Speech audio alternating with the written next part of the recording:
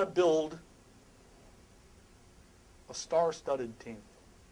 You got to look around the people around you and be impressed with how good they are.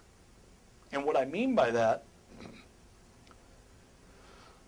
a lot of folks will go out and they will find an accountant. But the accountant has no restaurant experience. That'd be like me finding a doctor to work on my knee who has never worked on a knee. That would be a bad, bad decision. They go find a lawyer, never dealt with the restaurant business.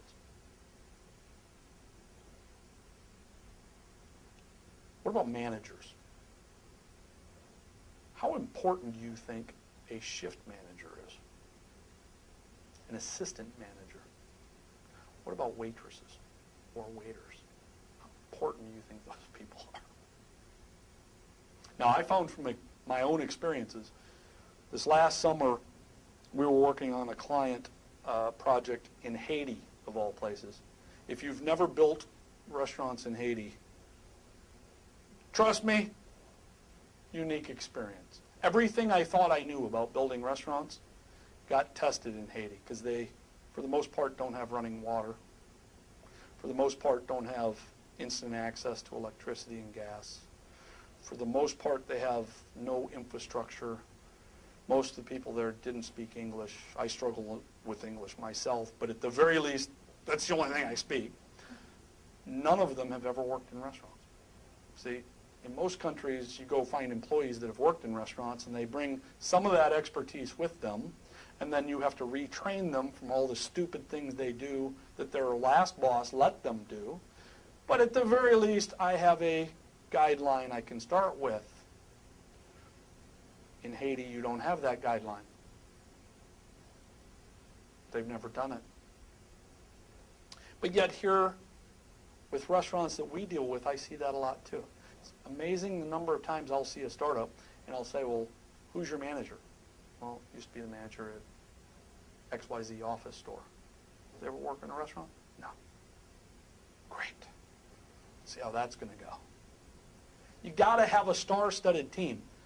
In our world, I call it my starting five. I got to have at least five people that I would put up against anybody. Now, I use a lot of sports analogies because sports are near and dear to my heart and near and dear to the heart of my son. But can you imagine a basketball coach that puts together a basketball team? And what he says is, I'm going to bring five hockey players out here, and we're going to teach them how to play basketball, and we'll see if we can compete with the best basketball players in the world. That doesn't happen. I can tell you your starting five, you have to have management people that are operators.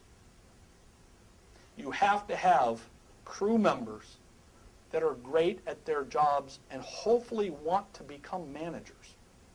Now, back in the 90s, we used to talk a lot about empowerment.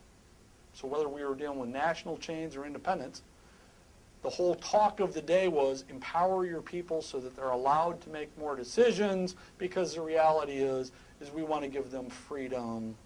Okay, the restaurant industry is not that. The restaurant industry is very much about micromanagement. It's very much about stay focused on the task at hand.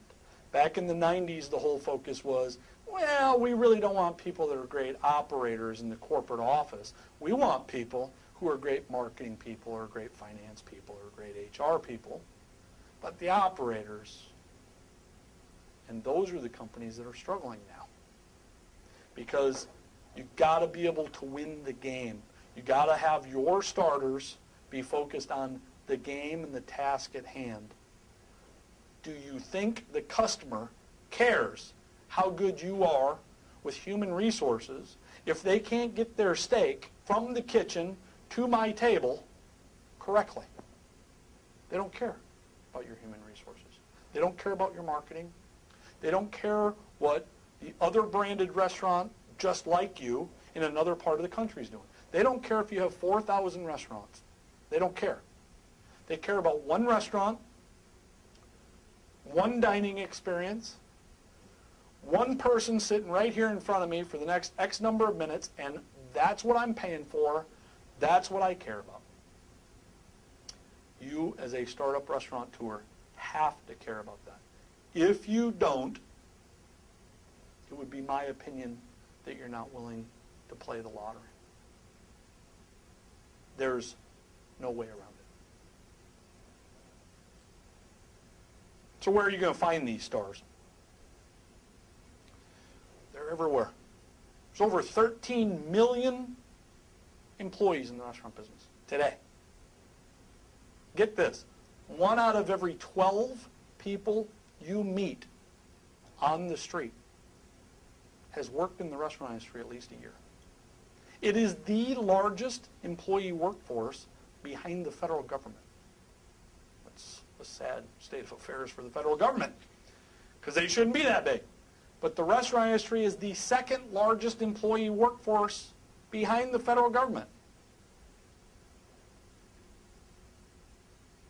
The pool is giant. There's over 150,000 product and service vendors who sell something to the restaurant industry. Over 150,000.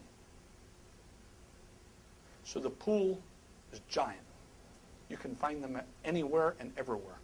I suggest you become one of those great starting five that literally is passionate about operations, wants to run the floor, and then the other starting five you're going to find to support you, you talk to a whole lot of people. And if the word coming out is not operations, operations, operations, customer service, hospitality, quality, service, cleanliness, accuracy, if that's not their focus, you don't need them to be a part of your starting five. Doesn't mean you don't need them. You might need them to be some of the folks coming off the bench, but they're not your starting five. Thank you.